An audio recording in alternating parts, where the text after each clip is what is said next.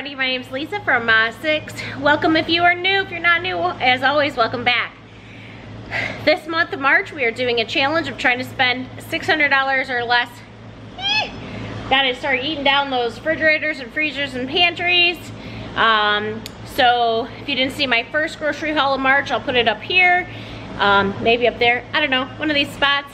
And uh, this month uh, or I'm sorry, this week I did $101 and some change.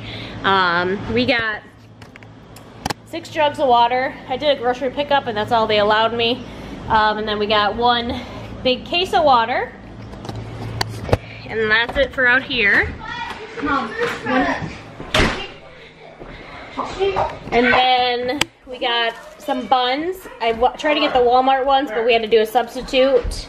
Just fine with that. We have some waffles, two bottles of wine, um, a big thing of syrup, potato chips, tortilla chips for nachos, some grapes, some Folgers coffee finally, 12 pack caffeine free Diet Pepsi. Need something? Um, two lettuce romaines, two pounds of strawberries. This is a substitute also, um, the brand and the size.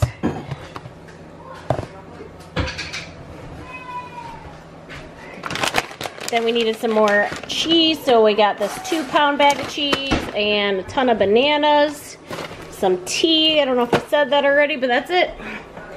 101 bucks. And that's it.